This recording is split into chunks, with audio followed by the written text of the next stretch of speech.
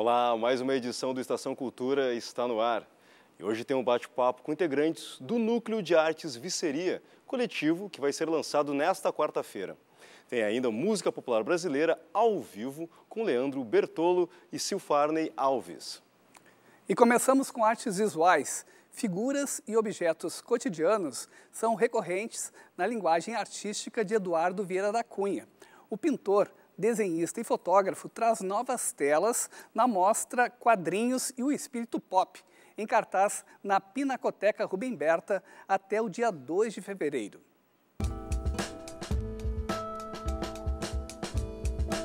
Sou um fã da, dos quadrinhos, da história em quadrinhos, sempre gostei muito de quadrinhos e de, de todo esse universo assim visual e, e de uma narratividade, assim como o cinema, porque o quadrinho tem toda uma, uma narrativa, né? uma, como se fosse um cinema parado.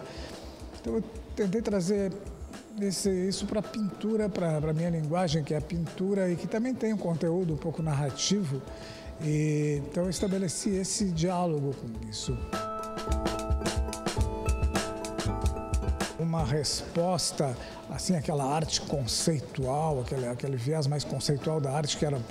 É, que deixava um pouco de lado o olho, o olhar, né? Então o movimento pop é mais vibrante, é mais em busca da cor. Então o meu trabalho tem muito disso, dessa herança uh, do pop. Então eu aproveitei isso, ressaltei mais, ainda mais esse lado nessa exposição. Os elementos são os elementos assim que estão sempre no meu trabalho, são meios de transporte, aviões, carros, é, coisas do universo infantil, todos esses, esses elementos assim que já faziam parte do meu trabalho, simplesmente nesse, nessa série eu mais tentei mais organizar uma espécie de uma grade, colocar assim lado a lado eles, uma única grade, às vezes sem, sem a universo, sem o, o, o horizonte, uma, uma, uma justa posição de imagens.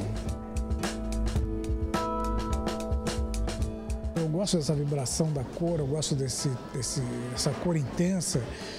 É, apesar de eu, de eu vir do, do desenho, eu, os meus primeiros trabalhos eram desenho e também da fotografia, e a fotografia que eu fazia era uma fotografia assim preto e branco, mas é, nesses, na pintura eu, eu puxo muito a cor, assim, uma espécie de uma cozinha com a cor, vou misturando as coisas, vou fazendo uma, umas experiências com a cor e essa cor é sempre mais vibrante.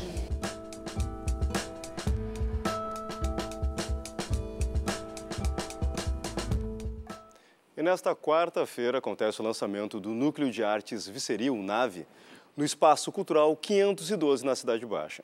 E é sobre esse coletivo de arte que eu converso agora com o Daniel Gil e o Bruno de Boa. Sejam bem-vindos aqui ao Estação Cultura. Obrigado. Bom, vou começar, Bruno, falando sobre essa ideia de juntar várias técnicas, várias pessoas diferentes, uhum. mas que convergindo para uma mesma ideia. É isso? A ideia de fazer isso. esse coletivo? Exatamente. Cara, é, é bem isso. É, é aquele clássico, a união faz a força. A gente, uma, um grupo grande, assim, uma gurizada que tem aí uma... uma amizade sólida, uns 12 anos, alguns um pouco menos e uns agregados assim que vão juntando.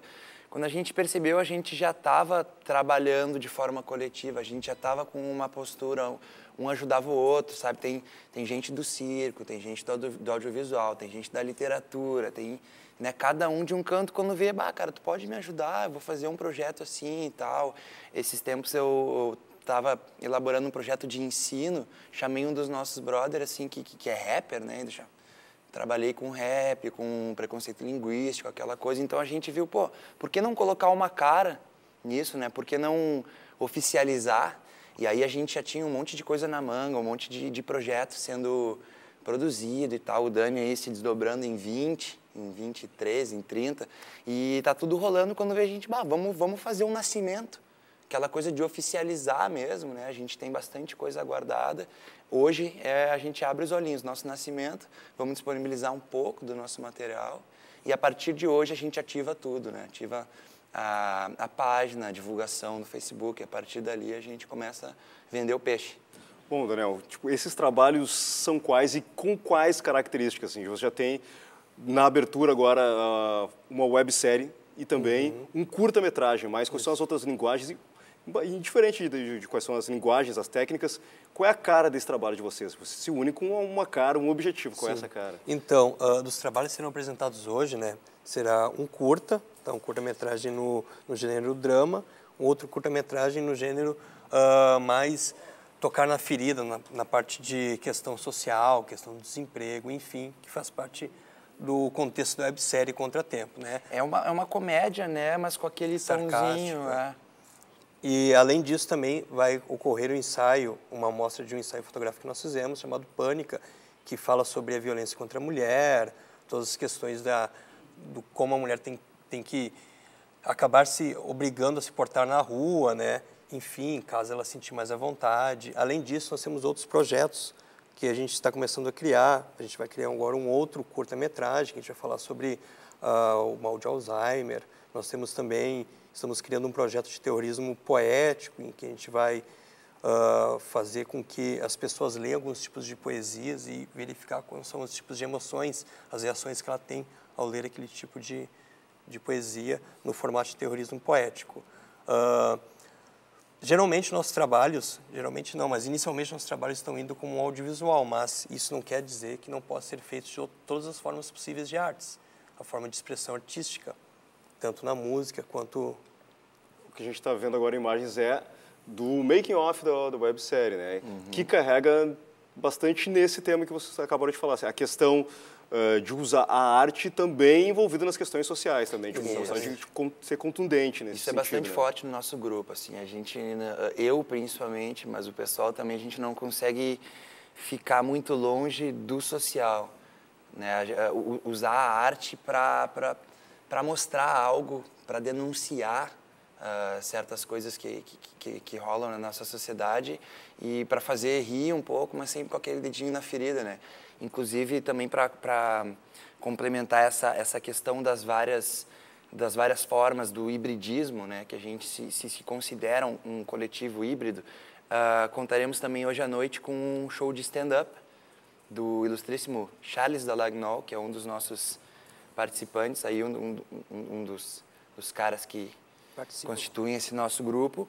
E ele que vai fazer meio que uma questão vai apresentar né, o, o, evento, introduzir o evento, fazer uh, o, o stand-up dele, que foi elaborado para essa ocasião. Aí vai apresentar os nossos trabalhos, né? Logo após ele vai fazer o fechamento disso tudo, né? Com a, a parte final do stand-up. Depois entra um, a banda Confiança, encerrando a noite com um pocket show acústico. Uma banda de um, pessoal também que está dentro do, do, do grupo também. Então é mais ou menos isso. A gente sempre tenta colocar o que cada um de nós tem de diferente. É o que nos faz híbrido, assim. Foi de uma forma natural que a gente acabou assumindo essa característica. Bom, e até com a possibilidade de cada um ter uma linguagem diferente, mas cruzar essas linguagens, fazer Exatamente. trabalhos híbridos nesse sentido também. Né? Isso, né? é.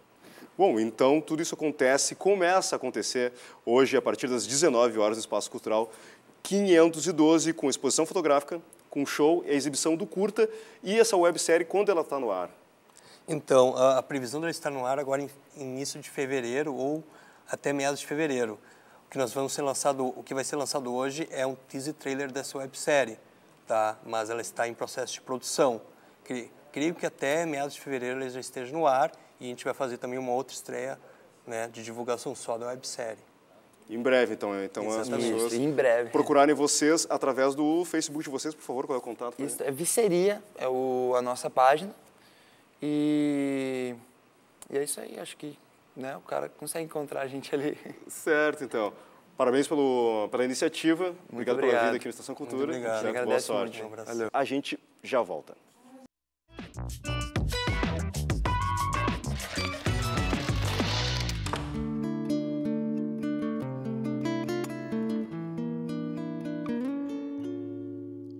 Violão, és tudo para mim,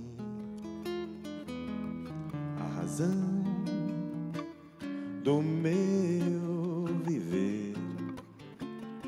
Não sei o que seria se não viesse a conhecer.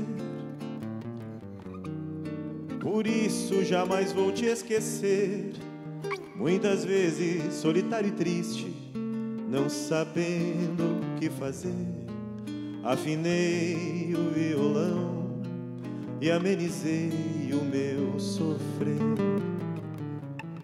Violão, és tudo para mim, razão do meu viver.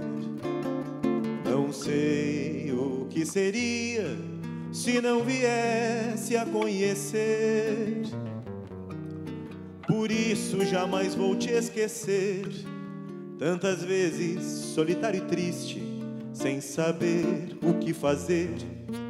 Afinei o violão e amenizei o meu sofrer.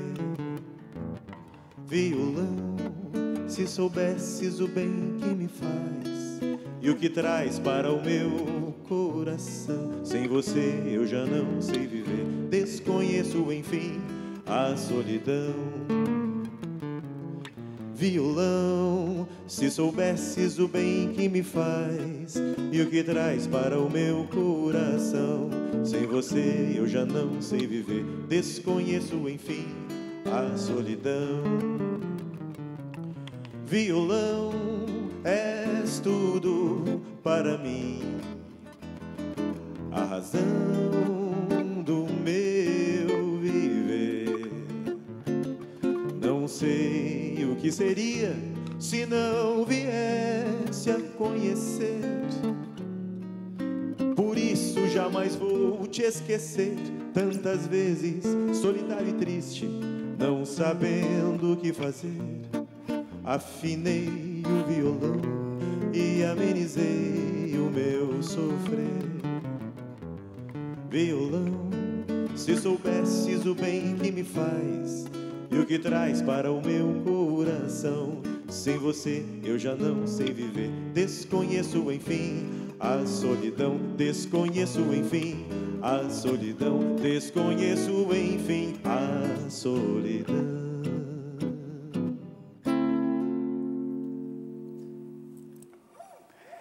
E a MPB é destaque hoje no Estação Cultura com Leandro Bertolo e Silfarney Alves. Os músicos são a atração nesta quinta no Parangolé. Tudo bem? Tudo bem? E já Bom começamos dia. com uma música do professor Daci Alves. Maravilha, nosso grande mestre, é, tio do, do Sil. E ele foi, já que falou do Parangolé, ele foi o introdutor da profissionalização da música lá no Parangolé, né? Professor Darcy, está na memória de grandes artistas que hoje estão fazendo carreira maravilhosamente bem, de uma gurizada aí que está tá bombando bacana aí na mídia. E ele é um exemplo para todos nós, assim, sabe? E essa composição vai aí. estar no teu próximo disco, é isso? Essa música está no disco, tá? E com participação do Sil e um grupo de músicos maravilhosos. né? Bom, ah, falando na tua presença também aqui, Sil, ah, como é que foi esse teu início no violão, tendo como tio o professor Daci Alves? É, para mim foi, foi muito legal. Sempre foi um exemplo né, de profissionalismo e, e da questão de qualidade musical dele. Me influenciou, né? Então foi bem fácil até para mim nesse ponto, né? O professor Daci, que, para quem não conhece, eh, foi um grande músico eh, aqui da nossa cidade né, e que faleceu no ano passado. Mas vamos falar agora do show no Parangolé. Qual é o repertório? É um repertório de MPB, um repertório extremamente variado que a gente toca todas as noites lá e com, com participações, inclusive, de queridos amigos, músicos, grandes cantores e cantoras. A cantora Glau Barros tem aparecido todas as quintas-feiras, a Liane Schiller, uma canja especial, o Chicão Dornelles, que esteve aqui na segunda-feira com o Marcelo Lema e tal. Tem música do Marcelo Lema no meu disco também, né, em parceria com o Luiz Mauro Viana. Então, o Parangolé é um espaço que a gente está utilizando lá, graças a Deus, tá, a gente está trabalhando muito bem lá com a música. Teu próximo disco, então, em fase de produção. Está em fase de produção, tudo gravado, está em fase de mixagem nos Estados Unidos e as músicas estão chegando, né? Chegou a primeira música, a gente já botou no Face aí e tal. E as visualizações estão bem boas, assim, a gente está bem feliz com o resultado. E como esse show ah, que acontece no Parangolé é MPB prioritariamente, né? Prioritariamente. Prioritariamente MPB, mas existem algumas participações, né? Como a gente deixa o espaço para amigos, queridos, né? Que fazem outro tipo de trabalho também. Ah, isso é até uma coisa boa que acontece nas noites de quinta-feira, né? O repertório fica bastante tranquilo. É. Bom, agora vamos ouvir então ah, a música Teresa da Praia.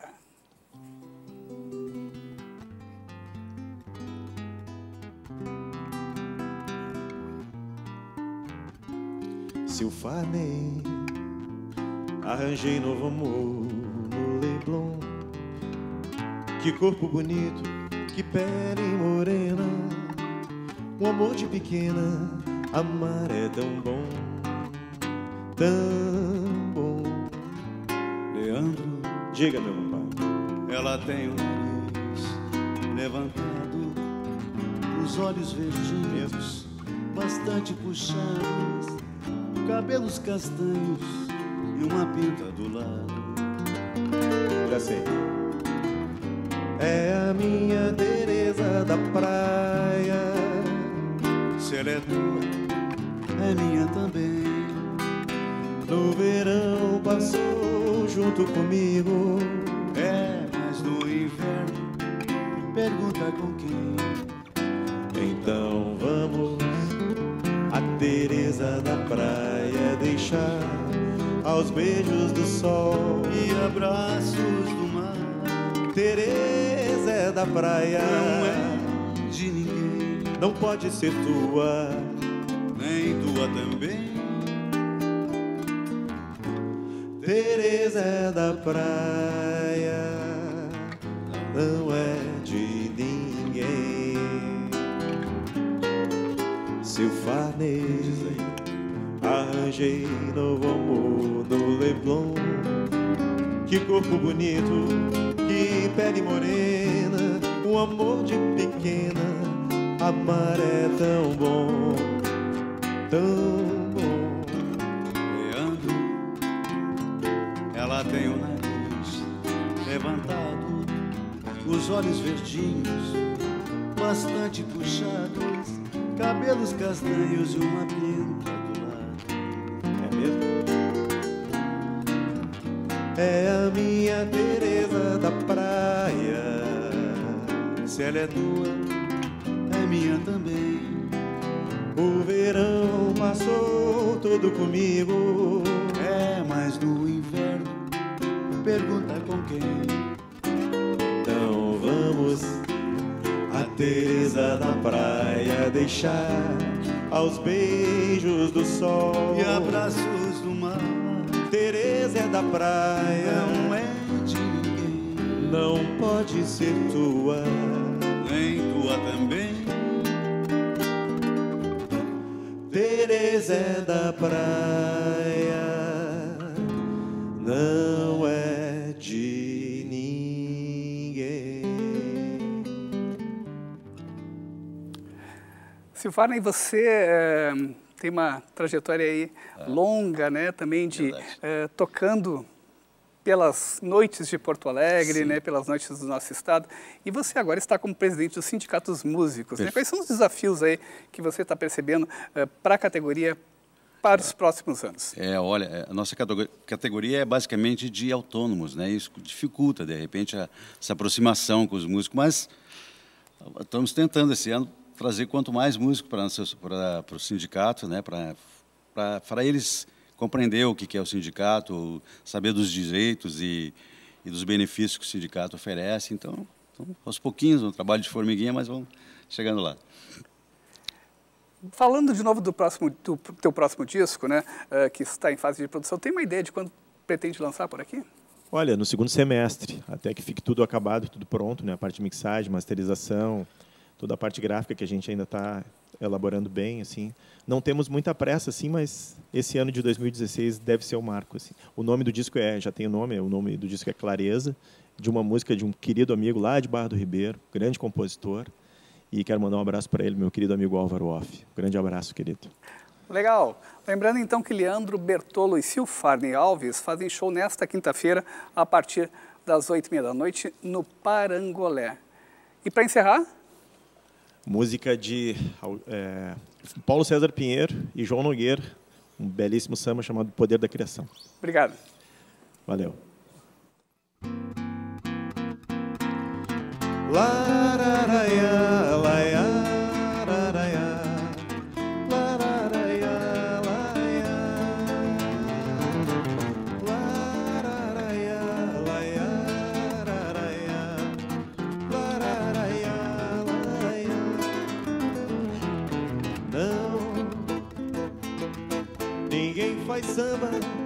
Porque prefere. Força nenhuma no mundo interfere sobre o poder da criação. Não, não precisa se estar nem feliz nem aflito, nem se refugiar em lugar mais bonito em busca da inspiração.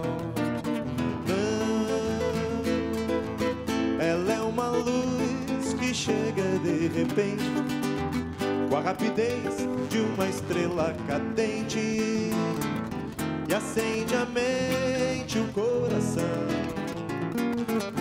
É, faz pensar que existe uma força maior que nos guia. E está no ar, bem no meio da noite ou no claro do dia. Chega nos angustiar. O poeta se deixa levar por essa magia.